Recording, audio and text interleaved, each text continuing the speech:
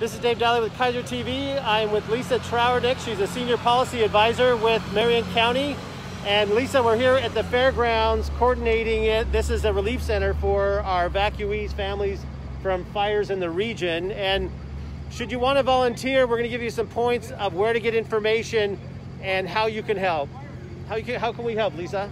Well, the community has been really amazing in uh, donating supplies, food, all kinds of hygiene needs. Also volunteers, we've had vol so many people uh, offering volunteer services. Right now we don't need volunteers at the fairgrounds.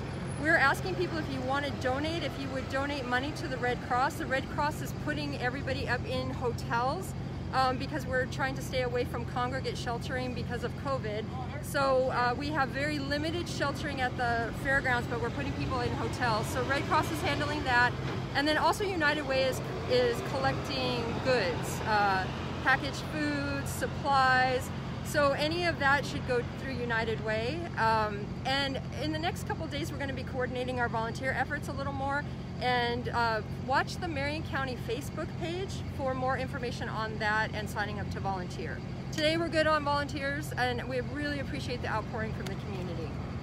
And uh, we'll here, here at Keizer TV, we'll also keep you updated. I've seen a number of our city councilors. I know Mayor Clark is coming our uh, Chamber of Commerce Director, Danielle Bethell. So Keizer has a great uh, finger on the pulse here and I stay tuned to their also Facebook pages as they're sharing out information.